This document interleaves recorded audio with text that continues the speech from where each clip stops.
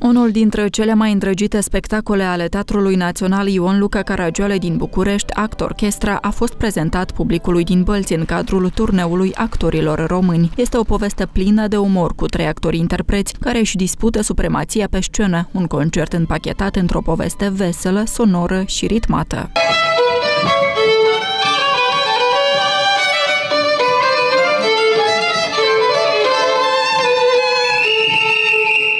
Nu e playback, nu e nimic, noi cântăm la instrumente și am studiat fiecare, am făcut muzică înainte și pe urmă ne-am întâlnit la facultatea de actorie și am, uh, ne-am tot jucat împreună.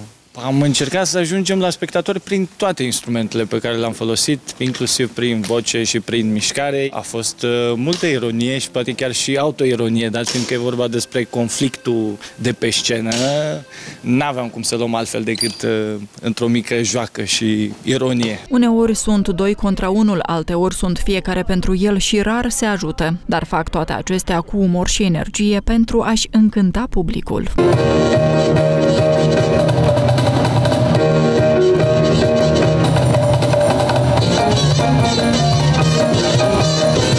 Asta, spectacolul ăsta e o joacă, o bucurie, s-a născut din uh, improvizație și din dragul nostru de a cânta împreună. E o creație comună uh, a noastră, împreună cu regizorul Horia Suru. După ce au fost la Cahul și Chișinău, actorii din România au ajuns și pe scena din Bălți, unde intrarea la spectacol a fost liberă. Foarte interesant, ne-am relaxat, am uh, descoperit actori noi, uh, am rămas plăcut surprins.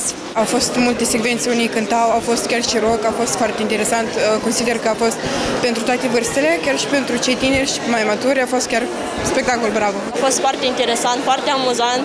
Foarte originală. Eram între un musical, o comedie, muzica anilor mei preferați din tinerețe și ceva din muzică clasică. in the sky. I'll be there. I'll be there. And I swear.